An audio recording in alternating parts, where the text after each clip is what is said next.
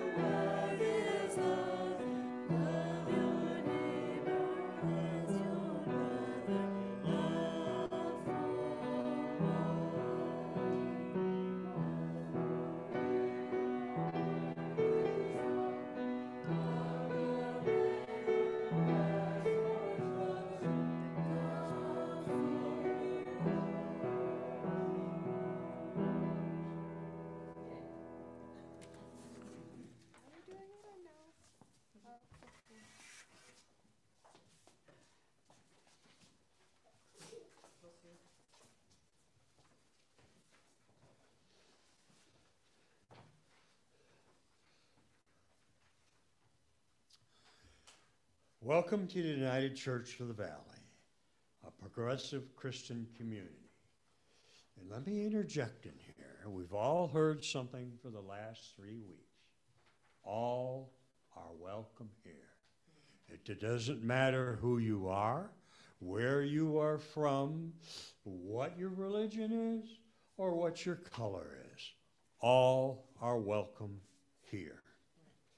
In the United States, we believe following the path and teachings of Jesus can lead to an experience of the sacred and the oneness and unity of life.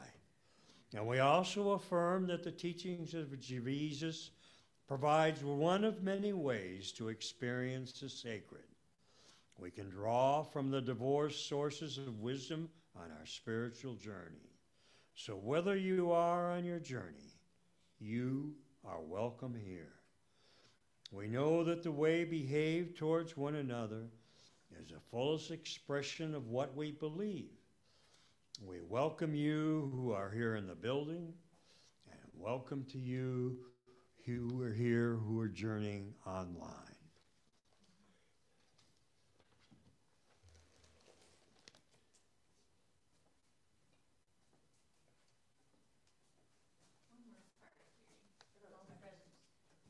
I'll do it. Oh, you want me to do it? You got it? I'm just following the yellow marker. Gotcha. Good morning. Will you join with me in the call to presence? When I think of God's presence in the world, I am grateful.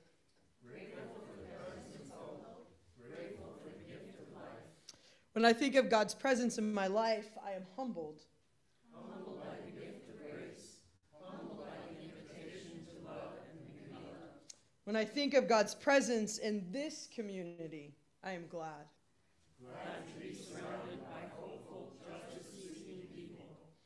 Thank you all. Thank you, God.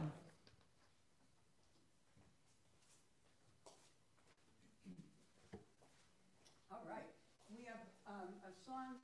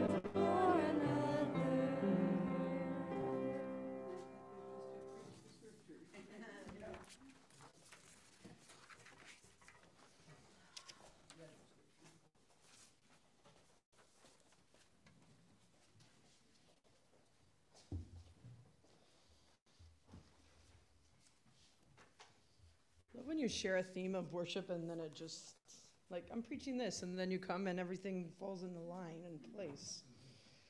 Oh, it's like we've been doing this for a while.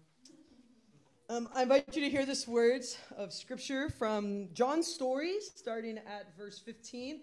And if you'll remember a couple weeks ago when I was here, I read the beginning at uh, chapter 14. Um, and so this is sort of continuing on uh, Jesus' final discourse where he's, you know, got his short timer syndrome. He's got all these things he wants to share.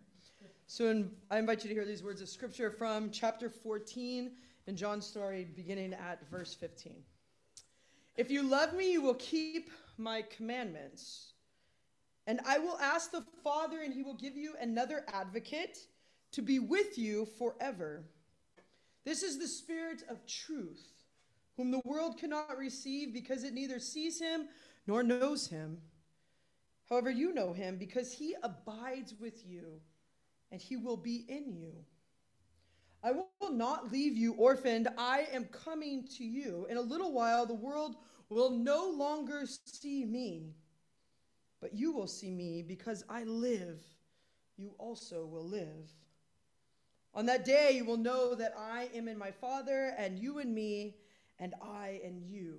And they who have my commandments and keep them are those who love me. And those who love me will be loved by my Father, and I will love them and reveal myself to them. The word of God for the people of God. Thanks be to God. Will you join with me in prayer? May the words of my mouth, the meditations of our hearts, and then the living out of these words be wholly acceptable to you, O God, our rock and our redeemer. Amen. Um, it's the end of the school year. Praise God. Um, and so I've been doing a lot of reflecting, and I started doing some math of how long I've been teaching and how long I've been ministry.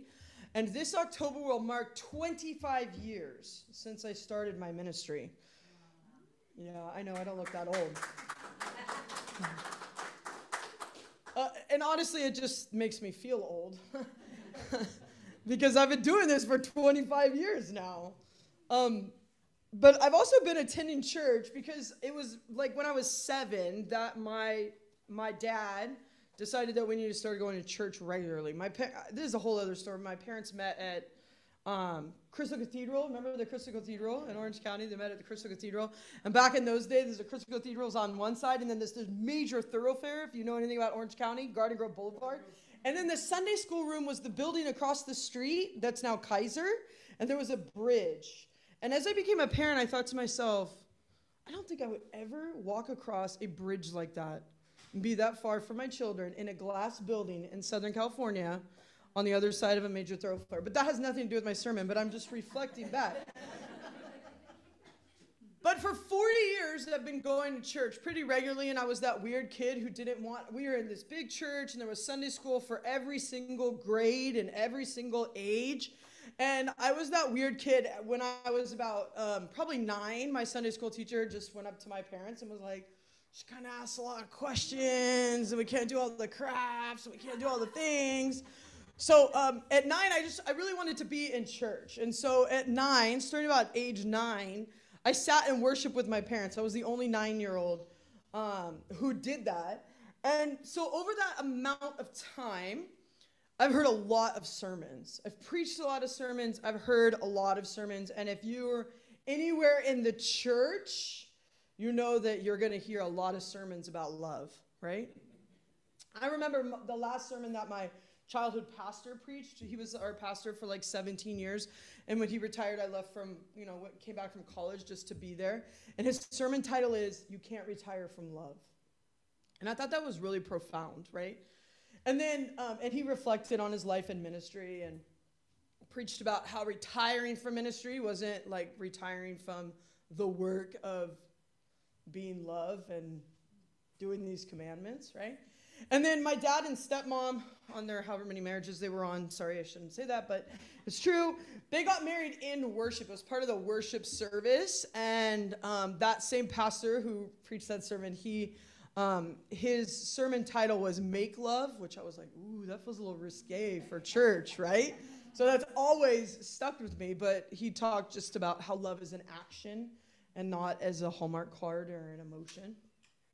I've heard clergy confess on their retirement gatherings about how they're still learning to love, right? And I think that we're all still learning and growing and figuring out what that actually means like in our relationships with our children and the, in our world and with our planet, right? I've preached and heard so many sermons on love, the vast, the limitless love of God.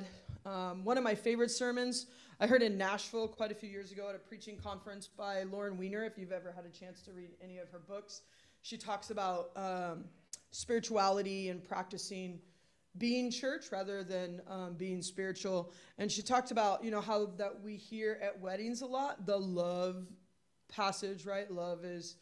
Um, love is patient and kind and not envious or boastful or arrogant or rude and and she just confessed i've been in ministry a long time um, I've I've been in in church a long time, and that she just said I, I haven't I don't know that I've necessarily seen that kind of love embodied, and so she rewrote the scripture, and I, and I love this retelling. Christ is patient. Christ is kind. Christ is not envious or boastful or arrogant or rude. Christ doesn't insist on his own way. Christ is not irritable or resentful, although there was some moments in the Gospels he was. Christ does not rejoice in wrongdoing, but rather rejoices in the truth.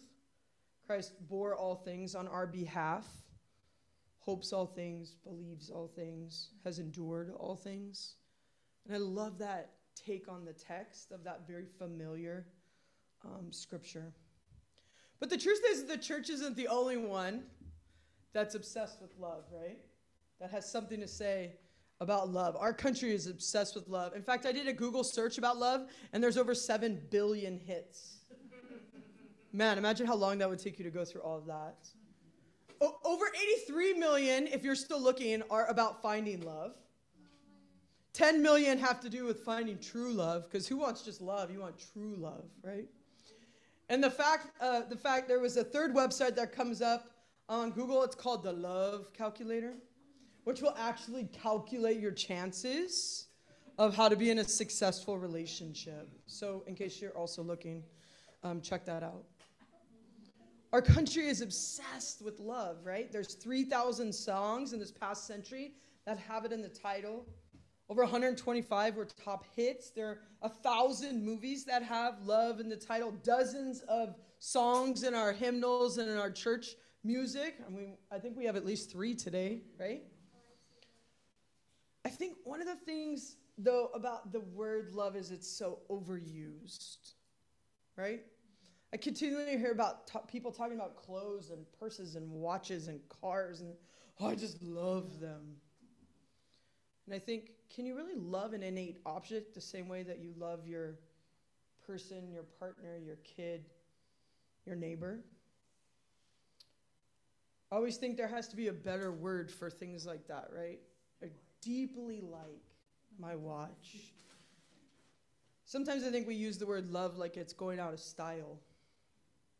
Our lives are saturated with the concept of love, but I think if we're honest, we're still trying to figure out how to love and embody that love, right? And then today's scripture, Jesus says, if you love me, you're going to keep my commandments. And so, my question to Jesus is which one? There's so many. When I was in high school, we had a tradition that every graduating class would do something special to leave sort of their mark, their legacy on the campus. Anybody have that happen at their at their school that they went to? I remember the year before um, my graduating class. I won't tell you what year that is. Um, the year before my graduating class, they painted a wall with a, a beautiful mural that they had like commissioned with some um, words of wisdom. And then they put at the bottom, you know, class of back in the 1900s sometimes. Um, some classes would uh, plant a tree, right, which I thought was a beautiful symbol to have beauty on our campus. Our class, we raised money um, and we put some uh, benches. We didn't have enough benches in our in the middle of our quad, and we had like um, words of kindness, like say to yourself, "You're beautiful, you're kind, you're smart." Um, on those, it was a tradition, and really the tradition was about leaving a mark, right? Having a legacy to be remembered by. And today, that's what Jesus is doing, right? In this scripture, what's his legacy? What's Jesus' legacy? Well, he says, if you if you love me, you're going to keep my commandments. And then guess what? They'll know me through you in the way that you have kept my commandments. This text in John 14 is part of his farewell discourse. It's his short timer syndrome. It's him wanting to get all of these extra words out, all of these things. If I haven't been clear up to now, just take note in this, right? If you love me, keep my commandments. Which commandment? Which one is he referring to? Early in the gospel, in John's gospel, he tells his disciples that the new commandment is to love one another as he has loved them. And then what does that look like? Do you remember? He got on his knees and he touched some dirty feet and he washed them. And it was selfless and it was dirty, but it was his act of love to say, If you love me, keep my commandments, and here's actually what it's going to look like. Throughout the New Testament, we encounter so many definitions and descriptions of what love is. Some mysterious, others a little bit more concrete. We know that God is love, and we're given that example in the person and even more the actions of Jesus himself. In Leviticus, it tells us that we should love our neighbors as we love ourselves. What Jesus claiming as the greatest second commandment love God as the first. Yet Jesus' statement, if you love me, you'll keep my commandments, it doesn't specify any of all of these commandments. It only implies that if we love Jesus, we're to love one another and to keep that commandment. In this text, we learn a little bit more about what that means. He talks about an advocate as part of the legacy. I'm not going to leave you alone. I am going to give you the strength, the power, the spirit within you to be able to do that. Because sometimes that love is messy, sometimes that love is hard, and sometimes that love is ugly almost. Out of Jesus' love for his followers and the love for Jesus and humanity. An advocate, a helper, as it's translated in the Greek, an advocate is a helper, is someone who's going to give us the strength to be able to live out those commandments. So, here in this text, to love is to be an advocate. Let me say that again. In this text, to love is to be an advocate, to give oneself of others as Jesus gave himself to his disciples and to those he encountered. We see Jesus loving, advocating in his ministry with the poor, with the marginalized, with women, with persons of differing, differing abilities, with strangers, and with the imprisoned. He fed, the hungry, he healed the sick. The list goes on, but all the while advocating for those that others had left behind. These are the parts of his legacy. This is the commandment in which he's calling us to live out. We are to continue loving our neighbor and seeing them as God sees each of us in word and in deed. The Spirit is still moving among and within us today as we work toward that love and living out those commandments. But the important thing to remember is we haven't been left alone in the task to follow the commandments. And that love, it's going to look like the love that Jesus lived. It's a love that's sacrifice. It's a love that sometimes shocks even the best and well of intentioned people. It's a love that gives. It's a love that's open to change. Let me say that again. It's a love that's open to change. It's a love that's expensive, that's intentional, that pushes us to our very limits. It's a love that includes and accepts and it's generous and it stretches us to be all that God intends us to be. Selfish love gets in the way because sometimes we like things the way they are. We like to be comfortable, we like to be predictable, we like life to be easy. We definitely, well, some of us, don't like to draw attention to ourselves. But sometimes we have to be reminded of what's most important. And that's when we have to be courageous enough to open our hearts to those things and follow that commandment as we're advocating. And that's what it means to keep that commandment. May it be so. Amen.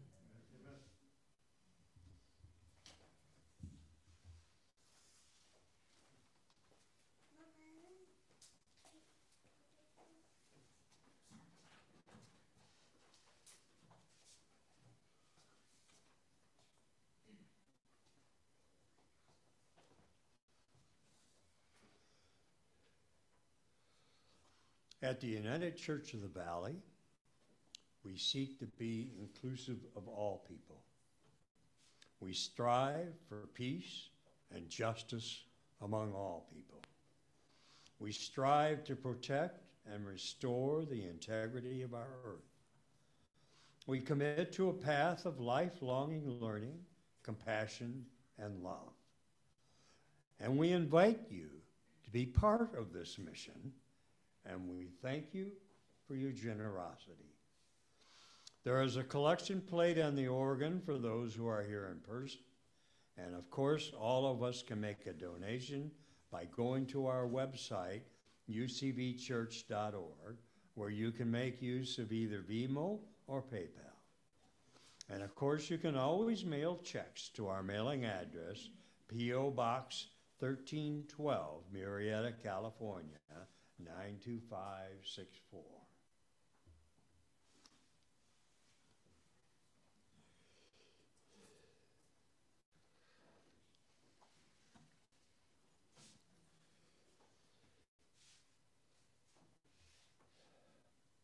A beloved community, in a beloved community, people care about one another and share their joys and sorrows and concerns.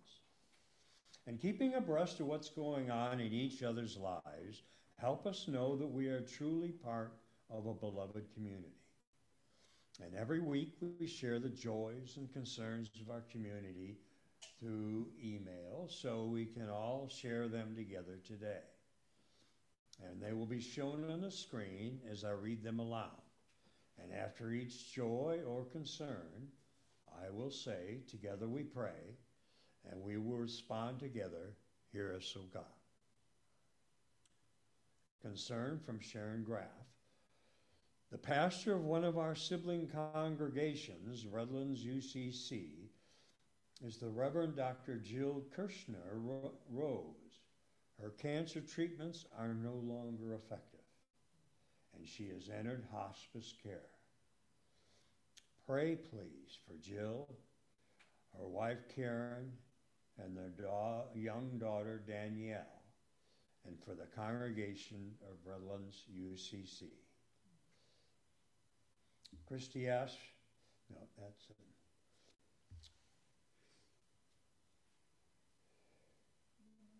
Together we pray. Christy Clinton asked for prayers for her safe travel to Kansas and Tennessee, for her family while she is gone, and a joyful reunion with a family that she hasn't seen in several years, eight years. Together we pray. Prayers for the comfort of Rachel Dennis's friend, Megan, who recently lost her mother. Together we pray. And prayer for the folks that are exploring the reestablishment of Emily's house. The need is great for a safe place for our LGBT youth, young adults, friends, families, and allies. Together we pray. Are there any other joys or concerns? I've got a joy. One of one of my friends.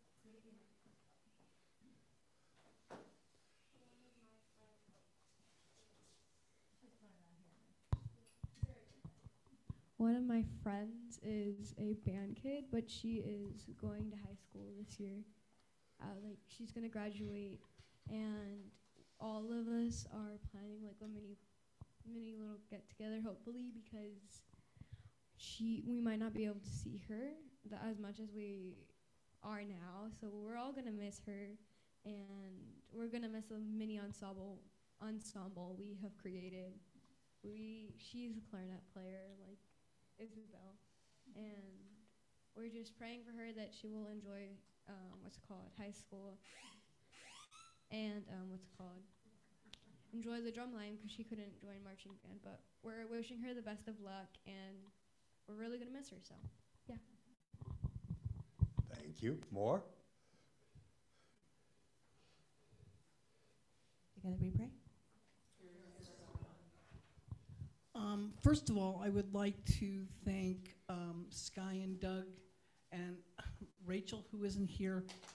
These are folks who have just recently been coming to UCV on a regular basis, and I was really moved by the fact that they actually volunteered to help us set up this morning, to be our greeters, um, and I just wanted to say thank you. And second of all, I would like to, I got a text message from Rachel while I was coming in this morning. And she was gonna be doing setup and getting us ready for the service. And um, needless to say, she was not in very good shape. She just found out that one of her very dearest friends had just been killed in an automobile accident. And she was um, devastated. So I would like to offer up prayers um, for Rachel and that she, um, that she finds some comfort and peace. Together we pray. Any more? Yes, we have over here.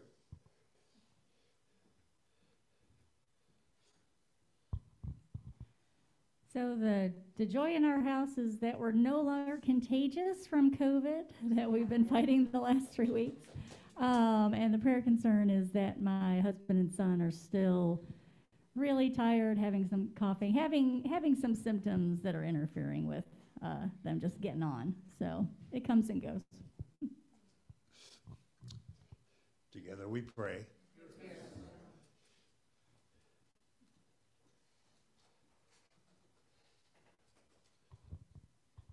Well, I have a, a couple of praises. It's great to be here again uh, with you all. It's been a long time. Um, I had a new work schedule to adapt to, and it's challenging, but it's fulfilling. And uh, I can also, I'm excited because uh, right around July 2nd, I'll be, um, it'll be like a hallmark moment, very tearful probably, as my wife and my kids finally are flying. Yay! So yes, they'll be here in July, and uh, it's just been kind of a. It's been really also kind of a challenge to get everything um, just ready for them to. Um, uh, just ready for the kids to go to school. You know, everything to be there for my wife to um, just adjust to living once again in this country. She's coming from Tokyo, so. Um, Thank you very much for all your support, and it's great to be here. I hope to hopefully that um, in a few weeks, you'll get to meet all of them as well. So Great. thank- all right. Together we pray. More? Is that- I'll go. I'm Helen. well, I'm Helen. I go Amy. I um, just wanted to, um, I guess it's just a, a joy that I have in my heart is that I've been kind of watching television with our, our young teenagers, and there is so much diversity um, in the shows that they have now that we didn't experience as, as kids. So just, just a joy in the change in our society. Any others? I have a joy. Tomorrow I'm finally going to get some glasses so I can see all of you and take care of this eye that has been bugging me for weeks. That's my joy. I hope I will be able to see all of you clearly. Okay, is that it?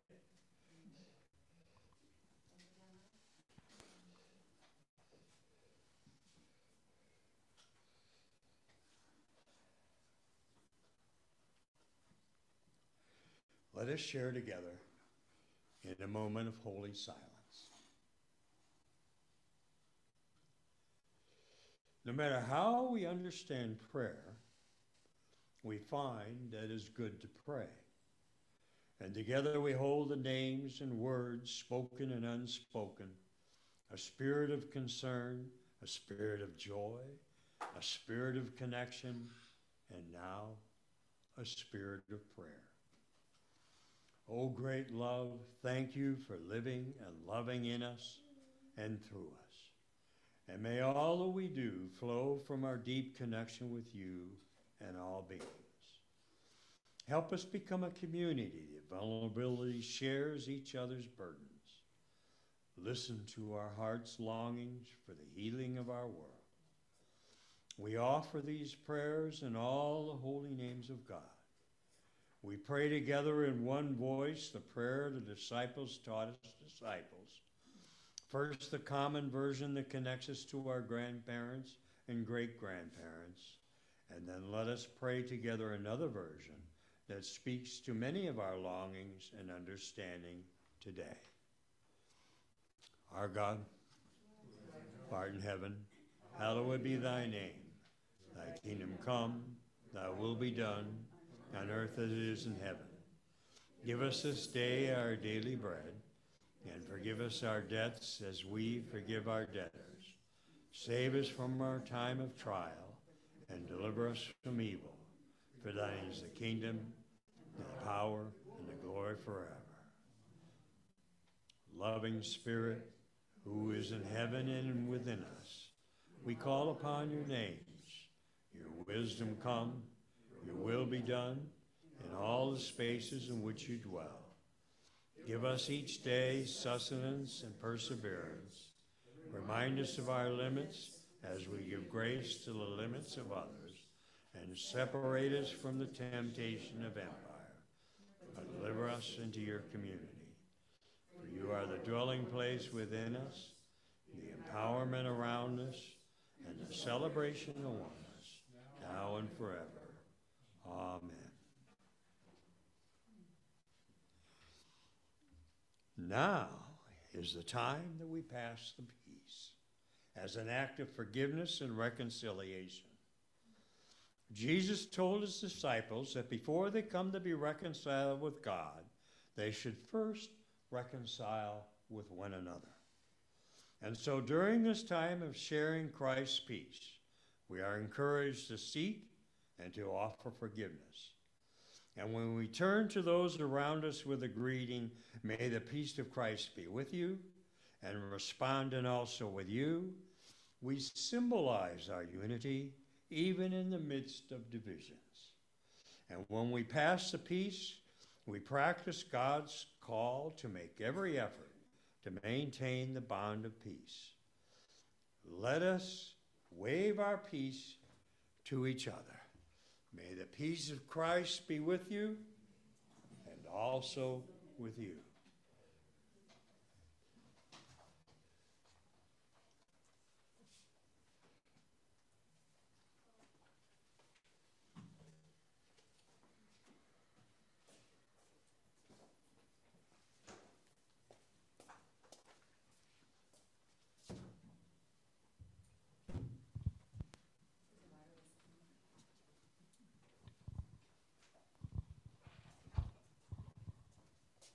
We come together to share together in this meal, we're reminded that this is God's table, that all are welcome, that no one is excluded, that all are invited. And every time we partake in this meal, we do this in remembrance of the love of Jesus. I wanted to read this scripture to you. This was my uh, scripture that I held on to for a very long time. uh, when I was doing youth ministry, this was painted on the wall, uh, and it fits in with which of our commandments. It's 1 John 4 um, 12. It says, No one has ever seen God, but if we love one another, God lives in us, and God's love is perfected in us. And so, as we think about our commandments that we're following, think about that how it's when people see the way that we love, that that's how they know God. It's a little powerful, but also a little intimidating at the same time. As we come together this day, we remember that on the last time that Jesus shared a meal with his disciples, he took bread, he gave thanks to God, he blessed it, he broke it, and said, Take, eat, this is my life, this is my body, which is broken for you. Every time I eat it, do it in remembrance of me. And likewise, when the supper was over, he took the cup. He gave thanks to God. He blessed it. He poured it out for his disciples and he shared it around the tables and said, Drink from this, all of you. This is my cup of abundant love and abundant grace poured out for you and for many for all times. Every time you drink of it, do it in remembrance of me. Will you join with me in prayer? Pour out your spirit, O God, on these gifts of bread and juice for us. Make them be for us the bread of life and the cup of your grace and love, that it may strengthen us for the work ahead as we go out from this place and live your commandments and love one another. In Jesus' name we pray. Amen.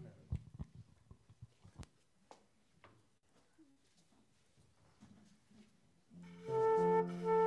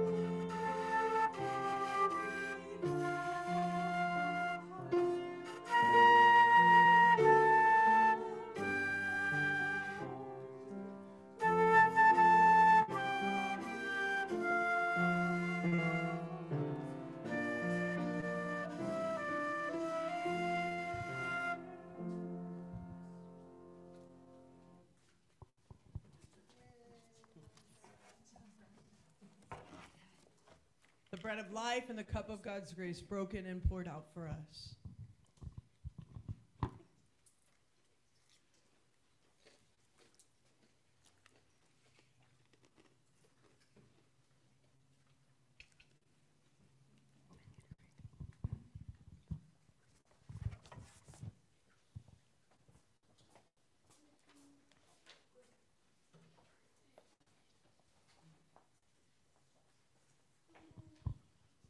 Will you join with me in the prayer after communion? Holy God, we have eaten the bread and drunk the wine. We have been touched by your Spirit and are thankful. Still speaking, God, as we go from this place to be the church in the world, may the boldness of your Spirit transform us. May the gentleness of your Spirit lead us. May the gifts of your Spirit be our guide and strength today and in the days to come. Amen. All right, choir, come on up. All right. End this day without singing the song. You guys have to help.